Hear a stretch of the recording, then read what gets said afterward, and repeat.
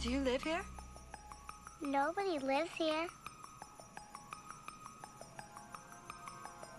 Where's Freddy? He's not home.